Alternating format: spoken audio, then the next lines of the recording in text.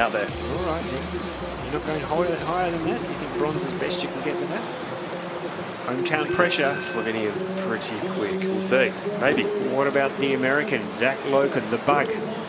Did a good run in the semi. Can he repeat it though in the final? We know he's capable, but sometimes can make a mistake or two.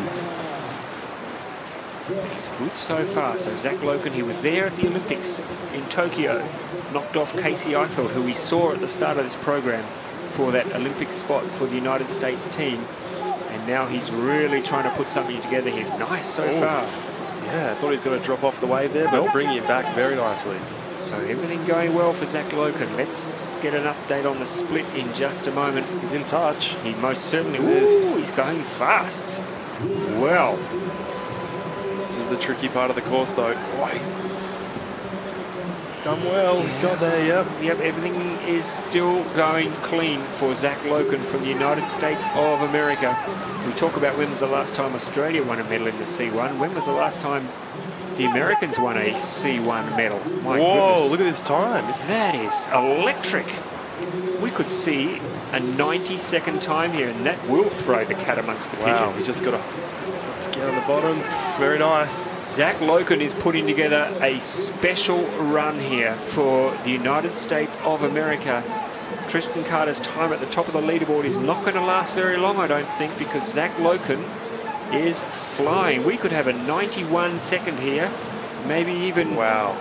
90 seconds. Let's see, he's crossing the line. What a great Wow. run. Wow. Zach Lokken, where, Oh my where- goodness, Bug, well done. Where have you hidden that? He's absolutely sent it. Where have you hidden that run?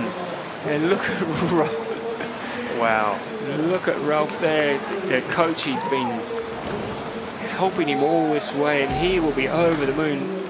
Just pulled everything out there, didn't he? Yeah, so you know, semi-final to final, two great runs. So impressive. Wow. Couldn't happen to a nicer guy too. He's just genuinely nice guy, just Yeah. always putting in the hard yards. Well, that is definitely medal prospects. It's got to be. Got, that's got to be medal. Surely. Chris Smolin, he looks very pumped about it, doesn't he? Look at this reaction from Zach. He cannot believe it either. Getting destroyed by the water he there. is, but he doesn't care.